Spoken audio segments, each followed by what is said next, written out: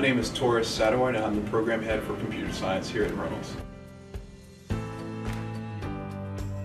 The QEP or Quality Enhancement Plan focuses on success rates and also retention rates. And it also supports our mission here at the college.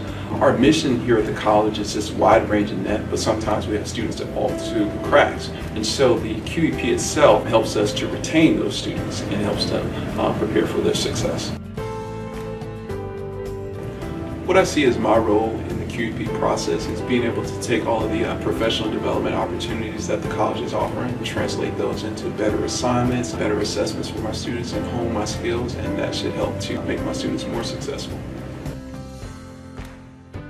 I think what the QEP will mean for Reynolds students is that they will have better prepared instructors that will have um, access to different techniques that will help them to address things in class, whether it's um, inclusiveness or being able to provide better assessments and being able to help today's Reynolds students.